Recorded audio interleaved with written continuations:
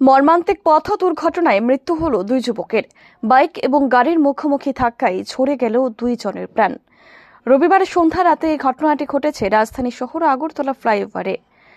দুর্ঘটনায় দুজন motor cycle আরোহী নিহত হয়েছেন। নিহতদের মধ্যে একজনের নাম সুবীর এবং অপরজনের নাম অমিত বলে জানা যায়। জানা গিয়েছে, এদিনের সন্ধ্যা রাতে ওএনজিসি থেকে মোটর সাইকেলে চেপে বটতলার দিকে আসছিলেন দুই বন্ধু। সেই সময় উল্টো দিক থেকে একটি মারুতি সুজুকি গাড়ি সজোরে ধাক্কা মারে মোটরসাইকেলে। এতে ছিটকে পড়ে বাইকে থাকা দুই যুবক। বাইকটিও দুমড়ে মুচড়ে যায়। দুর্ঘটনার খবর পেয়ে ছুটে আসে আশেপাশের লোকজন।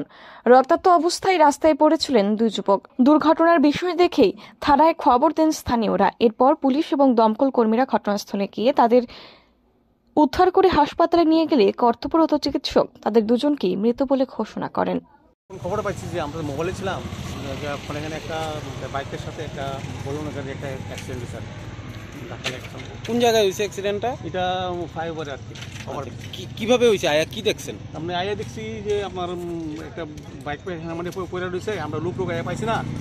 আর আমার এই গাড়িটা একটা মানে ক্যাপসাইড হয়েছিল ডাইন দিকে একটা মানে রেলিংয়ের মধ্যে বাইরে ধরে নাচছে এমনি কি কেউ কি আহত কেন আহত তো আমরা পাইছি না তো শুন- শুনছি ফায়ার সার্ভিস জিগিতে শিফট করছে দুজনে এক- এখন অবধি কতজন আহত হয়েছে? কোনো খবর রয়েছে আপনাদের কাছে?